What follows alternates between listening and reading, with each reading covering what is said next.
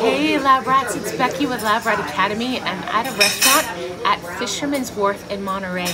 And I want you to see behind me that there are some seals. These are called sea lions and they're in the water and they are putting their fins up in the air. So I want to show you what, the, what is going on there and I want to talk to you about what's going on. So take a look at these guys right here. I'm going to zoom in on them and take a look at their fins that are up in the air. It's really strange. And so what's going on is that these sea lions are trying to warm themselves up. They have these these blood vessels, these capillaries that are going through their fins. And so when they stick them up in the air, the sunlight hits those and it warms up their body because it's really cold outside today and the cold the water is even colder.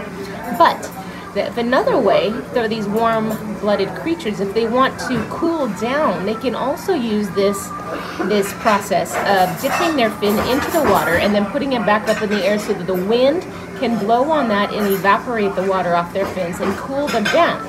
So this process is both for warming them up and cooling them down.